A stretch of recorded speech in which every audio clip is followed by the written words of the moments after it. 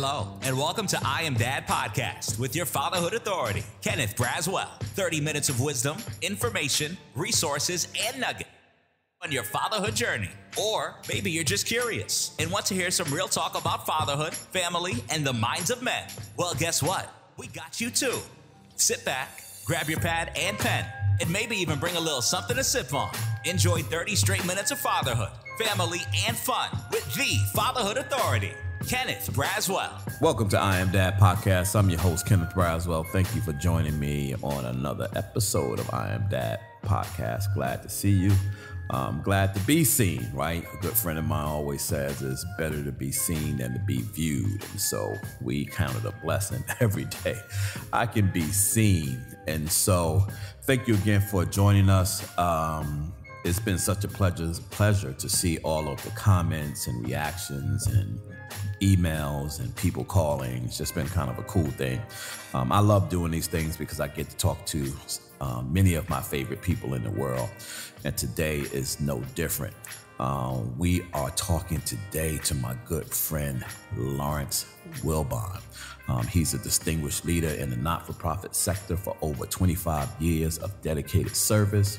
Lawrence currently serves as the Director of Business and Program Development at Fathers Incorporated, where his expertise in fund development and strategic partnership plays a critical role in advancing the organization's mission to support fathers and families. Before joining Fathers Incorporated, Lawrence made a significant contribution as the director of, the, of education at the Louisville Urban League, where he was instrumental in creating educational and violence prevention programs that have positively impacted countless lives. His leadership and commitment to community betterment has been felt across various roles, including leading his own local not for profit as its executive director a proud alumnus of the Ohio State University, where he met his wife, Dr. Matisa Wilbon. Lawrence is not only a champion for fathers through his professional endeavors, but also a dedicated husband and father of two living in metro Atlanta. Today, we'll dive into Lawrence's journey, his impact on fatherhood and families, and the insights he's gained from his extensive career. What's going on, Brother Lawrence? Wow, good. Listen, I, am listening to that bio and I'm thinking, who is that? Uh, that's good. That's good to hear um, hear read out loud. So thank you, thank you for the introduction. Thank you for inviting me today. Yeah, not a problem. I try to make people feel comfortable and want how important it is, like to be um, authentic, right? And so I went off script and talked about a whole bunch of other things, but you know, people are gonna look at this video and be like, "Yo, who's that dude? I need to have him come and speak. I need to have him, um, you know, be around. Need to look at them for mentorship." But we're gonna talk all about all that stuff during this podcast. So I know you've watched tons of these episodes. I know you know how I lead this thing off. I'm sure mm-hmm. you're prepared. I got to stop telling people what I do because they do come on prepared sometimes, and so, but that's cool as well. But here's how we're gonna start it off, like we always start off. I am Dad podcast. Tell me your daddy story. Yeah, that that every time I hear that, I'm like, oh Lord, here we go. Um, so uh, you know, because there it, it, it was kind of hills and valleys. So um, my my daddy's story, I, I, share the experience that I was actually raised uh, with my father not being in the picture, mm-hmm. and uh, so I went through my entire life. Um, from my adolescence, teenage, college years, not having a, a clue who uh, my father was. I knew his name, um, but that's all I knew. And I knew he had a, a, bunch of children, so I knew that part too. So my mother would make sure she let us know he got a lot of kids. Um, and so when I was about 35 years old, um, I had one of my siblings uh, reach out uh, to me on Facebook, and he inboxed me, you know, and I thought it was one of those, you know, you know, give me fifteen hundred dollars and you'll get five million deposited into your account immediately kind of scenarios, one of those scammers. And so he reached out to me and said, Hey man, I think I'm your brother. And I said, Oh, okay. I said, Tell me more. So we continued to talk through Facebook for at least almost three weeks um, kind of chatting. He and then he started revealing so much about my life and my he knew my, knew of my mother, knew of you know, my mother's siblings and things like that. And so we exchanged phone numbers and we started talking more on the phone. Uh, and then uh, I was going home for Thanksgiving one year. I think I was 35 at this time, going home for Thanksgiving, and I said, "Well, let's let's let's coordinate a meeting to meet meet my father." And so we went and uh, went home, and I met him. And so at that moment, and this is where the story is, everything that I've always questioned and wondered I felt like it was I, I was given the answer right then. I'm, I'm a tall guy. I'm six three. He's six six, six seven. Um, you know, I've my you know my demeanor. He carries some of the same demeanor. So I saw myself in him, and everything came to tr- to light right at that very moment. So. And I will say, in the midst of that, in the midst of meeting him, you know, he did one faux pas, one thing that I didn't appreciate. And in the middle, he said, in the midst of it, he said, "Man, I'm so sorry I wasn't there for you." And I said, "I get it." I said, "Let's not talk about that right now because we're just meeting. Let's we can, we got time to kind of talk through that."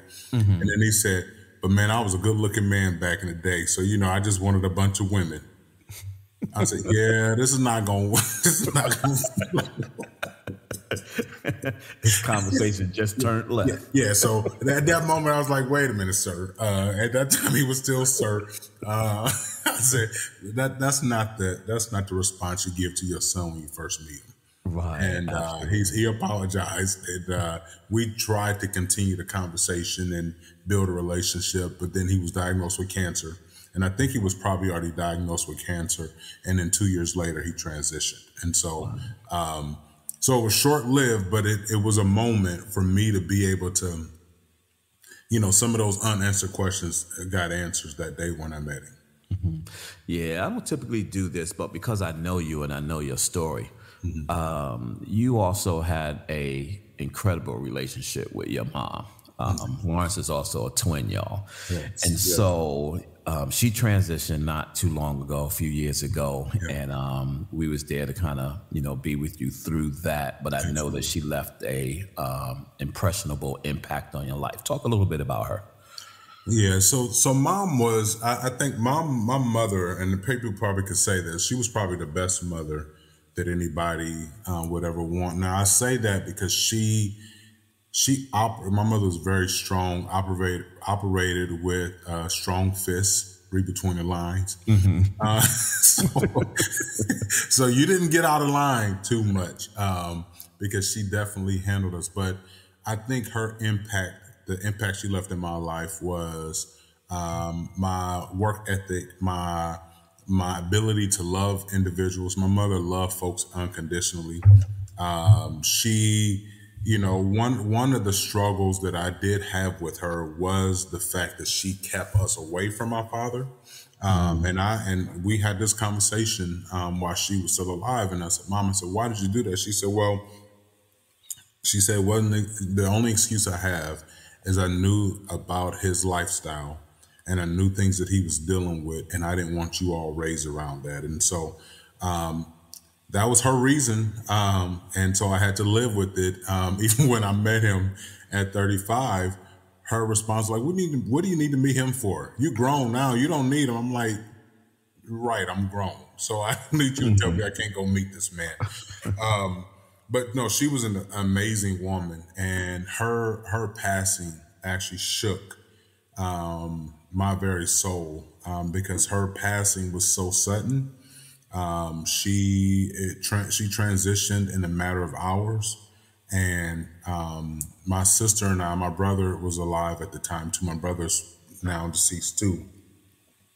But the three of us, we we took it really hard, and I think it was a bigger toll on my brother um, because you know they say people die from a broken heart can die from a broken heart, and I really believe that he took it so hard that he couldn't bounce back, and so uh, he transitioned a year after she did. Um, and so my sister and I are extremely close. We're twins, but we're extremely close. And what has held us together is um, the fact that my mother has always taught three of us, you are all you got. this is it. This is all we got. So mm-hmm. y'all better hold tight to each other because you know you may you may get married, you may do all this, but at the end of the day, you still all you got, and so that's why we stay so close. Wow. Um, I want to stick with family for a little for a little bit because I just know how important family is to you. Yeah. Um, but you met this incredible woman on the campus of the Ohio State. The Dr. Ohio State. Dr. Matisa Wilbon, she serves as Fathers Incorporated's co-chair of our Moynihan Institute for Fatherhood Research and Policy and does a bunch of other work with us. She's a dynamo. Yeah. Um, and it's very easy um, to see um, how the two of you connected. Yeah. Um, talk to us a little bit about her, but talk to me more about what she adds to you. Absolutely. So, yes, she is my heart. She's my heart. I we met very young, so um, I think I was 21 when we met, and she was 22. Um, and what she brought to my life at an early age was some, stability. Um, so I'll, I'll, be honest, what you see now, and even the bio that you read, Ohio State was a place where uh, I cut my teeth, and I got to live what they say the best life. Um, uh, so she brought stability um, to my life at an early age, and so when we met, um, I realized, and it was short lived. I realized that she was going to be my wife. Mm. And I tell people the story all the time we dated for six months only, and then I proposed to her. And five months later, we got married. And uh, we'll be celebrating 25 years in November of wow. being married. And so, um, so she brought stability. And I always laugh um, when I when we she and I do a lot of um, uh, webinars and things like that as couples and stuff like that. And people will say, "You married up." You know, they'll say stuff like that. And I said, "Well, well, let's be clear." when I met her, she was Tisa. Like she she was from Eastern Kentucky. Uh, so I think I had something to do with all the accolades that she has now. Um, because as we grew together, because we literally grown up on each other, grown up with each other, um, she supported me through so many different things, and I equally supported her through her journey in education. There were moments in, in our marriage I would say, Are you ever gonna get out of school? Because she, she literally was in school for like 13 years. It felt like 13 years. I'm like, when are you gonna like get out and like, you know, start working? Um, uh, but we support each other through so many different things. And I think I'll, I'll say this last point. I think our relationship is a testament of people dealing with challenges um, because I, I think about her family um, she has her own daddy story. Um, and um, there were times in our marriage that I realized that I was fulfilling a place. I believe I was fulfilling a place that her dad might not have uh, filled. And she and her dad are really close. They're, I mean, he lives 20 minutes from here, 25 minutes from here. Um, and so um, there were places in our 25 years I felt that I was filling the role um, where she had some love that she needed, and I, I stepped into that place. And so, um, and then likewise, I talked about my mother earlier about being a great mother, but my mother, because she had so much trauma and so many things happened in her life, that love bug um, mm-hmm. and that emotion, that compassion, she she she exhibited it but it wasn't many times we got a lot of hugs and kisses and i mean she was very strong and you know one of those kind of individuals and i think my wife played a role to meet some of those needs that i was missing as well yeah, no, I love hearing her daddy story. She tells it different every time, yeah, which is why I always ask her it because I think what happens is when I ask her it, when I ask her the question again, there are little small elements that she might have left out before that she kind of adds and she peppers them in. Yeah. That gives me a much fuller story mm-hmm. of um, who she is. Um, the two of you have also um, experienced a lot of grief. Yeah. You know, with the loss of very close people, including your mom, mm-hmm. you know, her brother, um, other close siblings, friends. Um, how is how is experiencing that grief for the two of you strengthen your relationship? Yeah, that, that's a great question. You know, because she and I well, more her than I. She does a lot of work around grief. Um, and that's part of the work she does, and it's helped so many people because of her work. Um, she, I, I, shameless plug, she did a, a, a, a TED talk uh, called "Good Grief," and um, it's it's streaming everywhere. So, um, but I think you're right. So we have experienced a lot, a lot. My mother, her mother, both of our grandparents, you know, on both sides, um, uncles, her brother was the most recent, passed away almost two years ago. Um, and these were not individuals that were far removed. Like we were intimately involved in, and they were intimately involved in our lives. And um, I think what has helped strengthen us is that we allow each other to grieve the way we need to grieve. And so I, I, I t- when my mom passed, um, when we got that call, I remember falling out on the floor like you would, you know, some of those churches mm-hmm. when people like, I literally fell out on the floor and was screaming, right? Lordy, Lordy, Lordy. Yeah, Lordy, Lordy, take me. You know, it was one of those, one of those moments. And I'm on the floor, curled up in a ball, um, in a fetal position, crying. Mm-hmm. And I remember at that time, she didn't know what to say or what to do. But I felt this hand on my shoulder and I felt her lean on top of me and was just hugging me.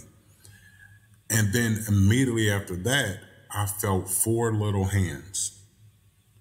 Didn't know what was going on, but those four little hands were hugging me too. Mm-hmm. And those were the kids. They the kids came into the room. They didn't know what was going on, but they were crying with me. Didn't know. They just saw me on the floor crying. And I think at that moment I realized um, she allowed me to grieve that I, the way I needed to grieve. And I, you know, been through counseling and dealt with those kind of things. And um, I'm still dealing with it. Losing your, losing your mom is, is really hard.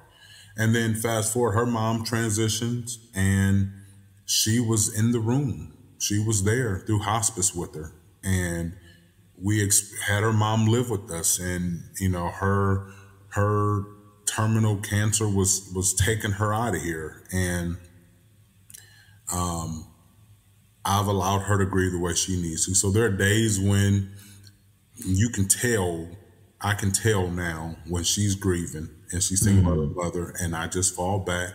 I'm there in the background. I'm there when you need me. Um, same thing with her brother. I'm there in the background, but it's at every moment in both of our lives when we dealt with um, these traumatic issues, she and I have both been there. So I think that's what strengthened our relationship. We, I'll say this last thing. We were on a marriage retreat, I think a week ago, two weeks ago. And one of the things that she and I said into, cause we're the oldest married couple there. So, and we're young. So it's weird to say that, but, but we're young. I just got the gray here, but literally I am young. And, um, one of the things we came out of there, we talked about how when you deal with so when you deal with issues in your marriage and in your life, if you got somebody that got your back and gonna roll with you until the wheels roll fall off, you can make it through a lot of stuff, and that's mm-hmm. what you and I've done for each other. Mm-hmm. Yeah, I love that line because that was actually a line in one of the uh, Martin episodes when he found out that Tommy and uh, when Tommy was telling him that he was seeing somebody, right. and he kind of hit him in the chest. He said, "How does it feel when somebody got you?" Right. And so, like you know, that that that that term resonates. Mm-hmm. So, um, and I think that that strengthening of family ties for you guys leans into where I'm going next. Yeah. Um, both you and Matisa are adoptive parents. Yeah.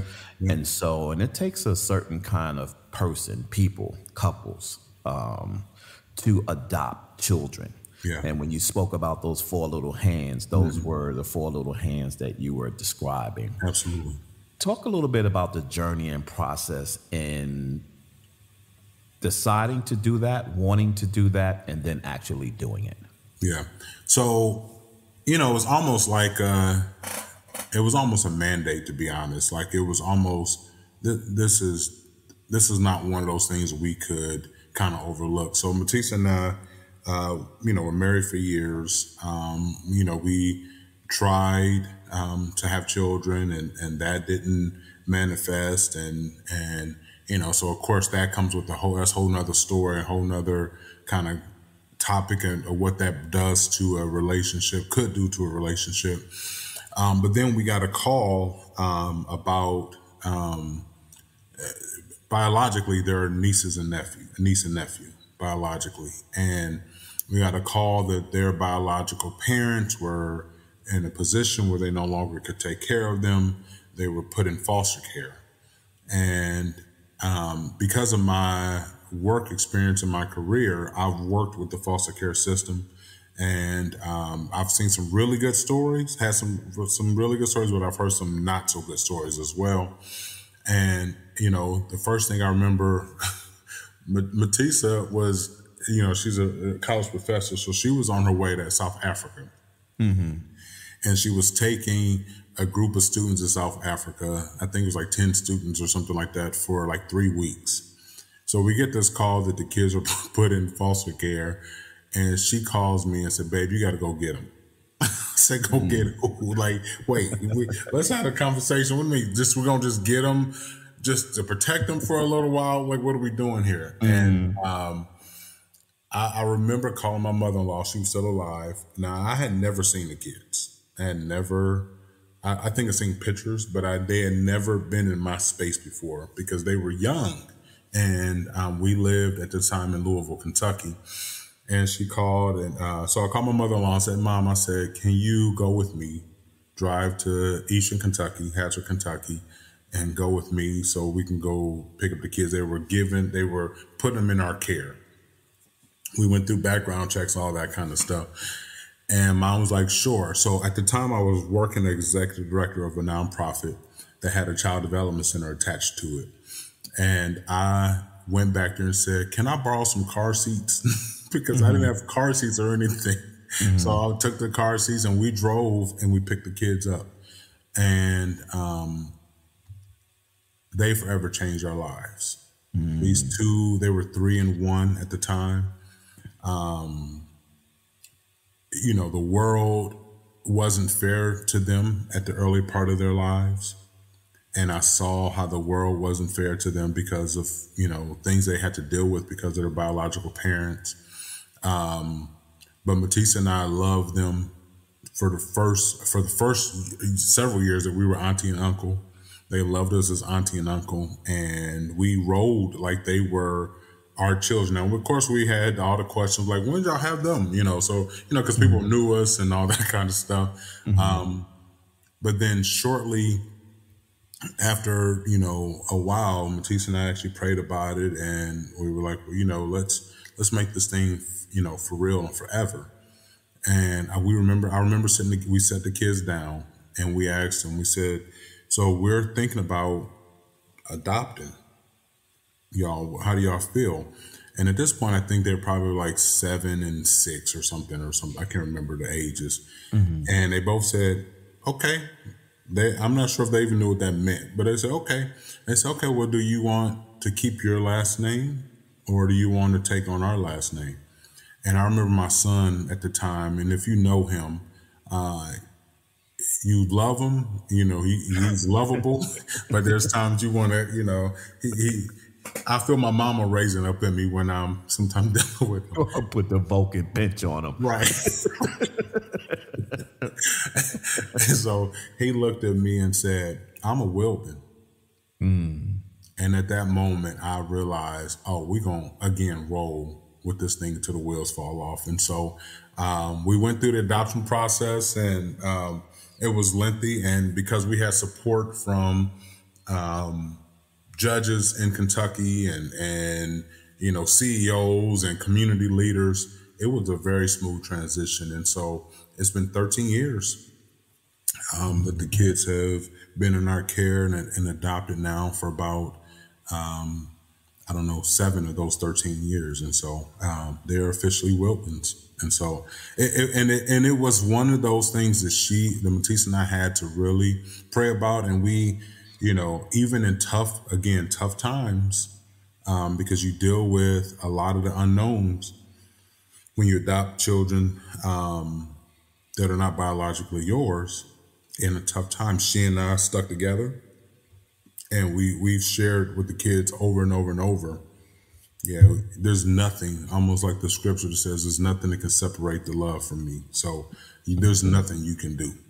Um, yeah, you know, I've um, doing this podcast and listening to so many different stories over the last two and a half years. Um, there's a scripture that strengthens every time I have a conversation like this, and I hear um, the stories of both the struggles, the obstacles, the triumphs, the losses, the mm. wins. And that scripture is Romans 8 28. Um, and we know that all things work together for good to them that love God, mm-hmm. um, for them who are called according to his purpose. And you guys exemplify two individuals that work within the calling of your purpose. Wow, thank and you. So, with all of the things that I've seen you guys go through, the grief and all those other things, there's like this beautiful rainbow on the other side of it that says, I know it was hard, yeah. but it'll be worth it. Absolutely. Right? It'll be worth it. And so thanks for sharing that. I haven't even got to any of my questions yet because I wanted to get through that. Because yeah. there's so much even in that conversation, right? Because now what I really want to talk to you about, and this is another thing that I've learned, particularly with you mm-hmm. and with my friend um, Coach Sharper, who himself was adopted. Mm-hmm. My wife was adopted. So mm-hmm. I've been around a lot of adoptive people. Yeah. But in conversation around children, mm-hmm. there is no difference when you are talking about children as two individuals with teenage boys. Yeah. Like you, the conversations we have about. Yeah. Absolutely. There's that moment where I was about to catch a case. Like that don't like change when yeah. you are responsible for someone's life. Yeah. But having said that, and in addition to that, you know, you guys are both multi-talented. You are multi-talented. You've done a lot of things in your life. You do a lot of things in your life. You serve a lot of people in your life, and you serve a lot of people in a lot of different ways.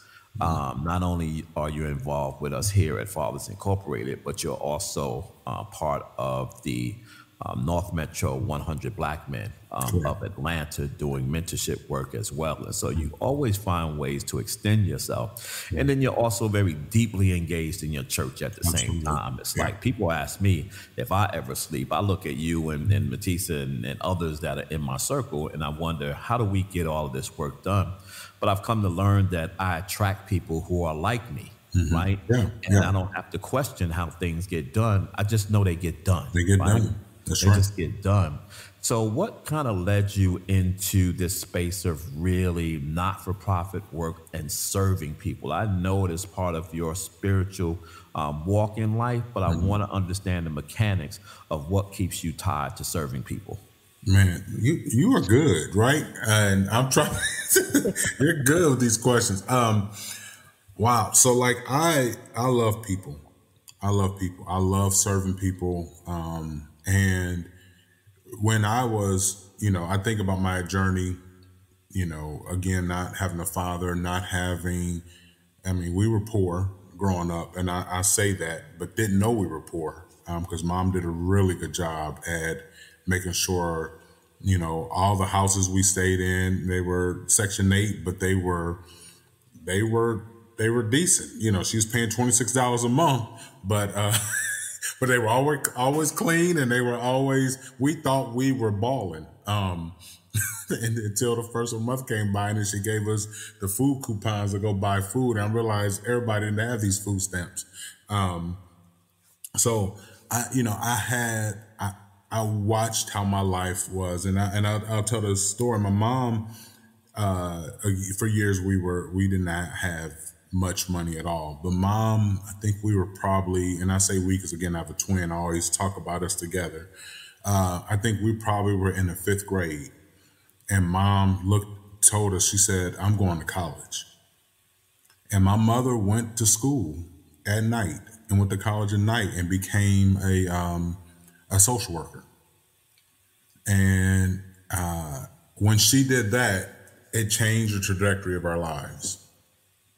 So we moved from being in subsidized housing, and I saw, and I we would go to work and see her working with families and uh, coaching single moms as she was a single mother and helping um, her make a difference in people's lives. We went from living in subsidized housing to mom going after um, the Habitat for Humanity uh, process, and we got a Habitat house. So we helped build our house, and mm. we literally were there every weekend building our house, literally hammer nails in walls um, as teenagers to build our house. And she became a homeowner. So that mm. changed again the trajectory. And my mother used to say this to us growing up I don't care what you become, just do better than me. Mm. She would always, that was her line. I don't care what you do, just do better than me. I'm doing this amount, you do better than me. And so uh, when I went away to school, I, I, I was the one in the family that I think everybody thought was going to make it. Everybody. I mean, I was the, you know, the kid from the hood. Like you gonna make it. Like everybody looked at me as the one as the as the hope for all the black kids in the community. And so I went away to school and um, went to Ohio State and did my undergrad stuff there.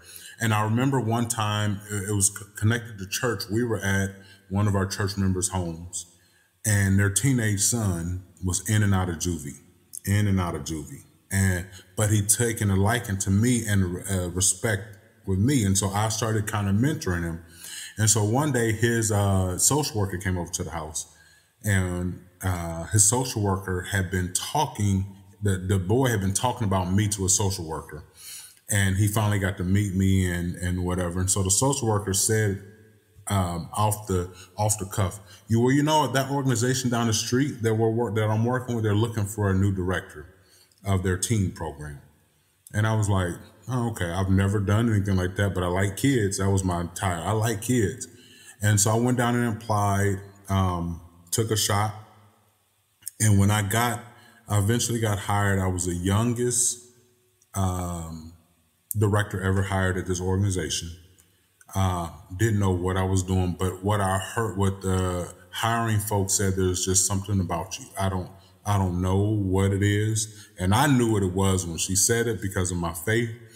She said, "There's something about you. I, I just don't know what it is," and so that led me into developing youth programs from the ground up. I started off with three boys in that mm-hmm. program, and we built that program to 150, 150 young people non-recreation, academic focus, uh, employment focus, and that program is still intact after all these years. Um, I'm like the icon, so I'll, I'll sometimes reach out to the organization and talk to some of the folks, and they say, "Oh my gosh, you're the one that started this program." So I started it, and then my trajectory in nonprofit work moved from there to to uh, Kentucky and I was exec. I was a program director at, a, at an organization and got promoted. Eventually, becoming executive director. Um, served in that capacity for a number of years.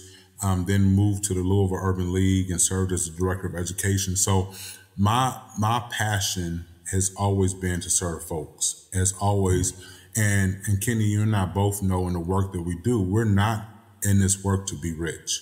There's no. I mean, I wish we could be but we're not in this work to be rich, but we're in, in this in this work to change lives. And so that's what we've done. That's what you and I've done. That's what I've done uh, for the last, two, you know, two decades. I've been changing lives. I, I, laugh that on Facebook we have a closed group of some of the young people that I used to work with, you know, 20 years ago. I look at them now; they're married with kids. Uh, I'm the OG, you know, so if I speak up, you know, they'll they'll silence. Uh, um, but it, you know, I've heard this so many times. If it wasn't for you, my life would have been. Uh, mm-hmm. One time we were for church, we were in the hood, and we were doing outreach. Now I don't know why the church always feels like you got to go to the hoodest hoodest part of communities. so we're doing outreach, and this car pulls up speeding with tinted windows and they all jump out the car. And so we're all like, oh, what's about to happen? And my back is turned and my wife is out there and there's some other folks. and there was a group of guys jump out the car and it's like, Mr. L. I said, yeah. And it's like, you don't remember me? And I was like, keep talking. Um, and so at that moment, they were like, I was going to be killed one time and you saved my life. Mm-hmm. And so that was one of those moments I said, this is, this is what I'm committing my life's work to is to make mm-hmm. sure that I'm able to influence people's lives uh, directly or indirectly. Um, mm-hmm. But I want to make sure that their lives are impacted, and so I've, I've I've transferred that into the work I do at the church. I've been a youth pastor. I've you know I've served on tons of committees, mm-hmm. led groups, small groups. Um, yeah, I, it's, it's it's my life's work. Yeah, and you're now here in Atlanta. you know, you came to me like most people come to me, you know, with no resume, you know, just an email that says such and such is in town. I really want you to hook up with them. I don't know where this could go. Just blah blah blah. You know, and you came into the office, and we were supposed to be in meeting for like thirty minutes or so, maybe sixty minutes, and end up talking for like four hours. You know, and talking, crying. uh, yeah, it was it was it was it was a vibe. It was a moment for sure. It was one of those God moments. I mean, we you know, and I, I tell people all the time. You know, have you know meeting you when I came to the city, um, you know I kept hearing you're overqualified, you're this, you're this, or we don't have anything, blah blah blah. But actually, when I when I when I came in um, to the city, you you you took a risk, and I'm ever grateful, forever grateful for that. You took a risk and allowed me to show you that I'm I'm capable of doing things if you give me a chance. And so um, you did that. And as to your point, you've done that for so many different people. Um, and the I, I laugh. I'm the I'm the longest standing staff member outside of the founders, uh, mm. founder, and uh, and then the CFO. I'm the longest standing member, and I've seen people come and go. And but um, the same way that you kind of invited me into the space the same way you invited everybody into the space. And so I, I appreciate that. No, I appreciate you. You bring, you know, a special component to, you know, not only what you do, but what we need as an organization. Um, you know, you're often, you know, there's always this term that we use is like who is Batman and who is Robin, mm-hmm. you know, and quite honestly, there's particular situations that we're in that we switch those roles, mm-hmm. you know, and I'm comfortable yeah. with allowing someone to be Batman while I just be Robin. You yeah. know, I have to be comfortable with that. Um, and you are that in many occasions for me um, in this work, and you do both those roles very, very well. Um, this fatherhood space is different, man. It's different than everything that we've done past. We both are urban leaguers, which is a unique aspect of who we are. The urban league trains people yeah. to be a particular way, to have a uh, zest for a particular level of excellence yeah. um, that most not for profits don't have. Very focused, very professional um, very tactical, very logical, mm-hmm. um, and, and and that's just um, driven. Yeah. Urban leaguers, every urban leaguer I've ever met are driven people. Yeah. They are extremely yeah. driven, and I brought that with me when I came to Fathers Incorporated because I was a vice president of the Urban League of Northeastern mm-hmm. New York, and that was just what we brought to the table. Shawnee, along with myself, worked for the same Urban League, so mm-hmm. that meticulous way that we work with Fathers Incorporated comes from how we function um, within the infrastructure of the Urban League. But this fatherhood space is something different, man. Since you've been here doing this work around fatherhood, what is the thing that stands out the most to you about being an agency that serves fathers? Um, so you know, it is. it was totally a leap of faith and different the work than I've ever done. Because again, I did youth development, community organizing. Um, you know, I was a voice um, for so many. Um, but then when you get into fatherhood work, you realize that these are men who have their own voices, who have their own way of doing things, and you could be a guide for them, a coach, if you will. But they're going to make their own decisions and you have to you you have to recognize that they're creative, resourceful, and whole. So they're going to find a way to get whatever they need. Um, and so I think the biggest thing that was different for me was allowing these men to be them authentic, their authentic selves and to rise to the occasion. And so what we've seen in the, in the programs that we've had is that individuals start at a place and then we've seen them grow to a different place, but they tapped into their own um, internal power, um, but allowed us to help guide them into that place. And so um, that was that was the, and I guess you could see that in any cohort of folks that you work with, but it was it was real uh, prevalent when working with fathers. That fathers are, you know, they're you can't you can't go into the situation like you're telling them what to do because there's there's something innate in them that shows that they they they have their their own footing. They can do what they want to. The second part I would say that's most most also the challenging piece is part of my role is around funds development.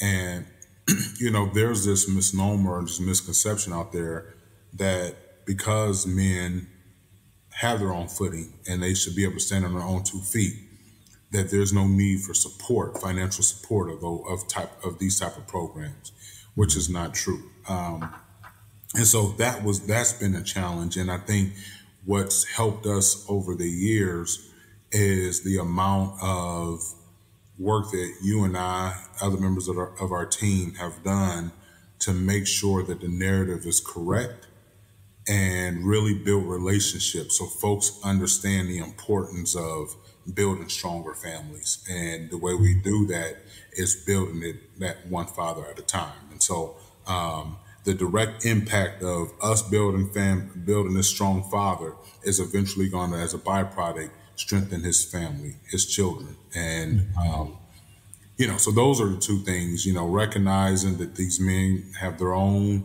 authentic power within, and allowing them to kind of work through that. And then the second thing is looking at how folks have a misconception that uh, fatherhood programs don't need support because they should have uh, things already locked down and ready to go. So those mm-hmm. that was the biggest challenge for me when I got into this work. Mm-hmm. It's interesting because a lot of people want to get into this work. They want to do fatherhood work. You know what we've seen is it's easy to find elements of the work to get into with no capital. Mm-hmm. Um, but in order to scale, um, to provide comprehensive services that is sustainable over time, and stable during the times that people need you most. For us, I tell people all the time that during the pandemic, we doubled in size. Absolutely. Um, and we did exactly what we were supposed to do, which was to be available for people when they most needed us, because we saw a lot of organizations go down. Yeah. Um, you know, during the pandemic. And I think that any um, time that we will eventually be in some level of societal crisis, um, Fathers Incorporated will get bigger and expand. Yeah. That's that's who we are.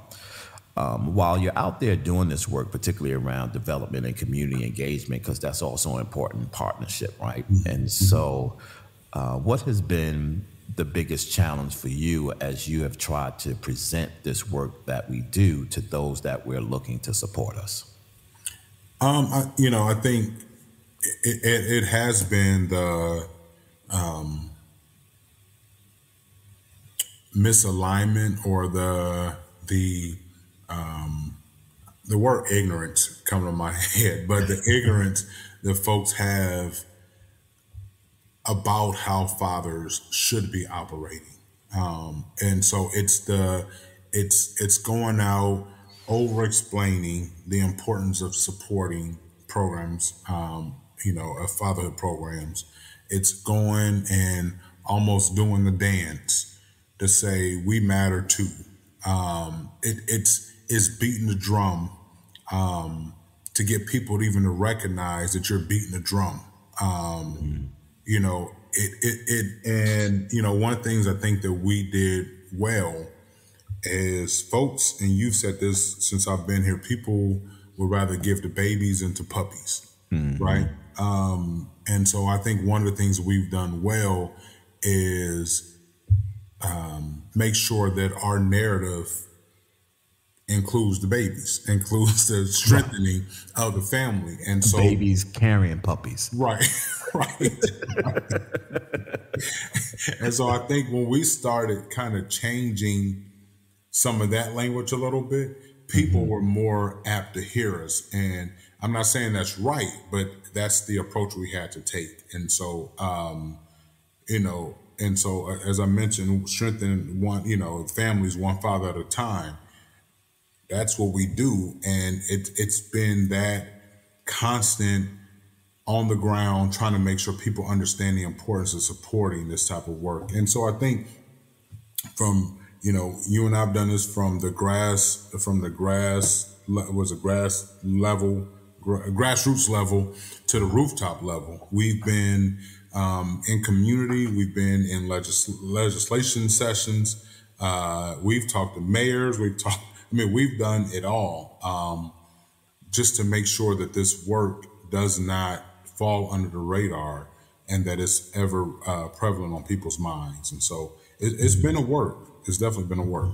Mm-hmm. So, and and I'll say this last week. You know, one of the things that you mentioned about the you know the struggles and, and stuff like that i think that's also as i was talking about even in my relationship with my wife the struggles and the traumatic experiences like during covid and you know how the world changed that actually bonded i believe our staff which bonded the organization and so as i mentioned anytime there's a traumatic experience it can either break or make and um, I think we put our, our stake in the ground and said, we're going to make this work.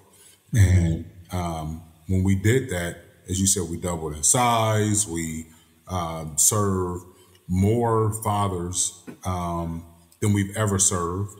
Mm-hmm. Um, and the trajectory for that is, is going higher and higher. So um, now I think in my five years, we're now getting the recognition and notoriety that um, we deserve. Now, it, it's taken time, and you've been doing this for 20 years.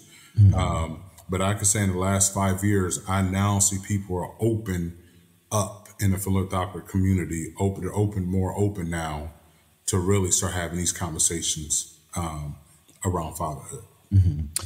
You know, and part of it is, you know, and I talked about being urban leaguers, you know, it's easy to um, advocate for an organization that's been around 100 plus years, right? Mm-hmm. That's mm-hmm. when you're talking about the Urban League and more specifically, or not more specifically, but in addition, um, the NAACP, right? So, other than fraternities, you mm-hmm. know, and sororities and fraternal organizations and churches, we don't have much that has lasted, and maybe some HBCUs that mm-hmm. have lasted, you know, close to a hundred years. Yeah. Um, there ain't many not-for-profits that were started you know, in the 60s and 70s, you know, that are still around and have that level of national um, relevance to people. Mm-hmm. 100 Black men might be the closest to it, right? Um, yeah. Being able to um, be the lightning rod for when tragedy strikes and people want to support, particularly in a financial way.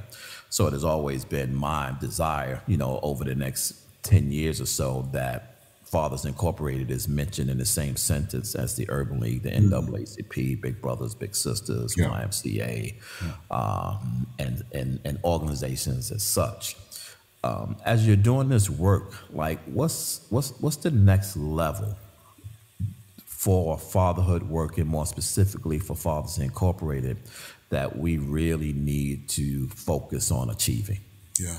So I, I you know, my um, I love the strength in the family piece. So, you know, digging deeper in how we engage the entire family and making sure the entire family is being served again with the father in mind of being the the avenue vehicle the way we do it. Um, and then I think about, you know, policy work and advocacy stuff that, you know, that's that's I guess that's the urban league part of me as well. But mm-hmm. making sure, you know, um, laws that are legal processes that are on the books that are impacting, such as legitimation, that are impacting um, uh, fathers, uh, more importantly or more specifically, black fathers.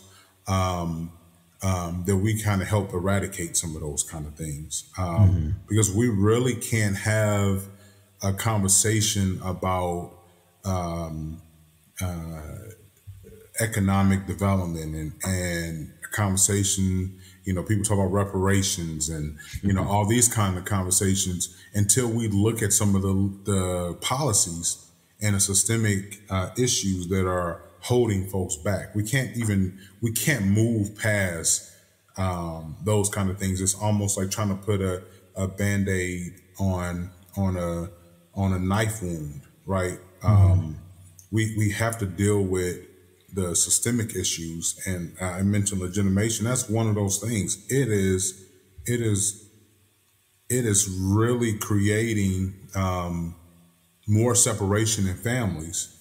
Mm-hmm. Um, which you know research it probably is probably out there. I'm not a researcher. I can ask my wife this but i'm sure that as you separate more families and have these systemic issues it creates a cycle of poverty a cycle of the same kind of behavior that will continue because families are, are ripped apart. Now there's the i mean you look at you know timing from times, of, you know, during the slave trade and things like that, families were separated. And legitimation, as an example, is is mirrors that same type of separation between the, the dads and the families. Um, mm-hmm. Just the same thing as a lot of the uh, Section Eight policies and those things. They separate families, and so really looking at advocacy work and um, you know, trying to look in some of these policies um, that are separating families. I think that should be our next, and that should be fatherhood work across the board. But I think uh, Fathers Incorporated should really continue to dig deeper into that work. Mm-hmm.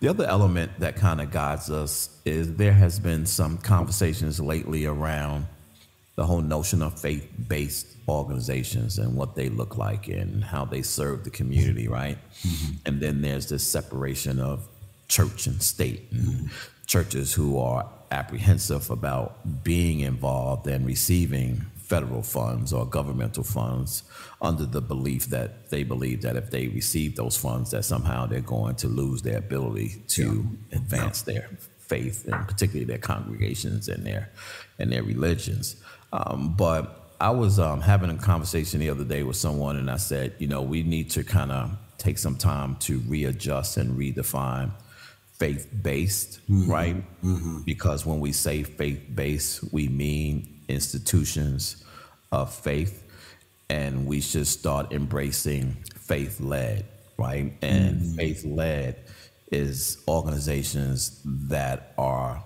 led by their faith, right? Mm-hmm. They may not incorporate a religious doctrine um, but it is their faith that drives them, much like you and ours, to do the yeah. work that we yeah. do because it is part of our spiritual calling, That's you right. know, to work with people and for me specifically to speak to the hearts of men. Yeah. Like, why is it important, at least for Fathers Incorporated, to always ensure that faith is the driver of why we do what we do and how we do what we do? Yeah, so I think, yeah, I think that's a great question my, the image popping in my head is a north star. Like you have a north star.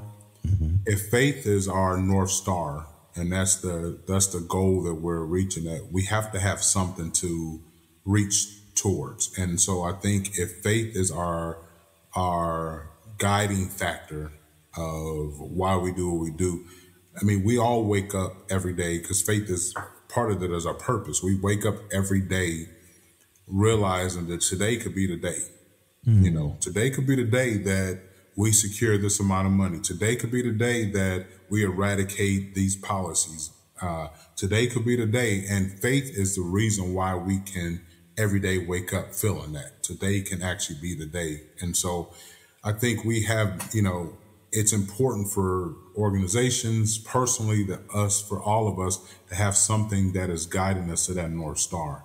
And, um, I think for Fathers Incorporated, I think we've done a great job of not not pushing religion, but pushing that same feeling, that same motivation of purpose that keeps us going every day. Because today could be the day. Um, and so I wake up every day like that, uh, mm-hmm. thinking, you know, something has to break, something got to give, it has mm-hmm. to happen. And so mm-hmm. uh, faith is, has allowed me to uh, believe that. Mm-hmm. You know, um, lastly, as we close this out, you know, we were talking about our children, which we got to come back and talk about fathering teenage boys. We got to come back, and that's got to be a whole conversation. That, will be funny. That's going to be a listen. you, we should do a panel on that because that is the because you know we got some people in our circle. I think about like James and and, and mm-hmm. their, their, sons are, you know, getting older, right? right? And some of us are still, you know there our sons are still growing, and I want to hear from some of these people who've made it through because there are days I sit back and I say to myself, "Yeah, I, I probably would look horrible in orange." Um, because you're gonna, you gonna have me catch a case. Uh, so, but I'm gonna go back. I ain't gonna go forward. I'm gonna go back. You know, to some of these youngins, right? Mm-hmm. You know, we are now looking at serving fathers. You know, within this 16 to 24 year old range who are um, Generation Zers, and yeah. they're a different breed. Our Absolutely. kids are Generation Zers, Absolutely. right? And so, when you think about this young uh, population of fathers out there, if you had to give them some advice, uh, what would that advice be? Um, I know it's going to sound negative, but you don't know everything, and listen to somebody who knows some stuff you know, we, we have experience under our belt. And I think, you know, if you look at this generation, they feel like, and they know a lot of stuff, but they feel like they know sometimes more than we know. And I imagine there's other generations that felt the same way.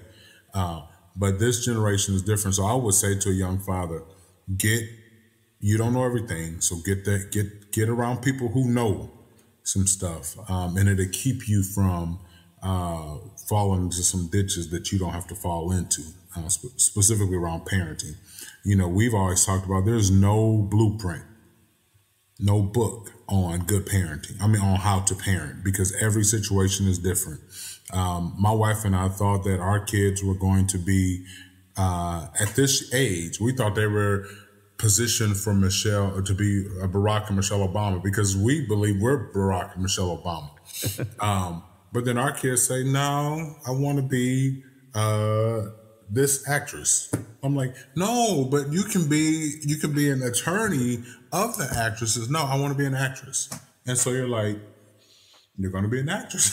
so uh, so it's a, it's a different it's a different way uh, to parent. But if I was talking to young fathers that age, get some get some wisdom from folks that have experienced some stuff.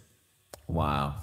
Thank you so much, brother, man. It is both an honor and a pleasure um, always to be in your presence, to be working alongside with you um, and your awesome wife, um, along with your children, um, your experiences, you know, your um, advice, your wisdom, all of that good stuff. It adds so much, um, not only to our organization, but to me personally. And I thank you so much for who you are and what you bring to the world and to the space.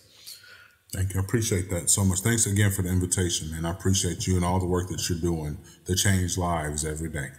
Thank you. And to all my I Am Dad podcast listeners, thank you so much for joining us today. You know how I like to leave you. Always be kind to others as you're kind to yourself, or you might find yourself by yourself. Always shoot high for your goals because even if you miss, you'll be amongst the stars. And that's my good friend, Art Mitchell and my longtime friend who passed away last year, John Harris. It's nice to be important, but it's so much more important to be nice. Until next Sunday, peace out. Thank you so much for taking the time to spend with us. You've been listening to I Am Dad podcast. We hope that you have been informed, encouraged you to think, or even inspired your heart for the love of dads. The conversation does not end here. Come back and join us next week. Same time, same place. Or you can continue the dialogue on our I Am Dad Facebook page. We also invite you to listen to past episodes, learn more about us, and keep up with special activities by visiting IamDadPodcast.com. That's IamDadPodcast.com. Until next time, I leave you with this reminder of manhood from 1 Corinthians chapter 13 verse 11. When I was a child, I spoke as a child. I understood as a child. I thought as a child. But when I became a man, I put away childish things. Because of this reminder, I will always understand that I am dad, period.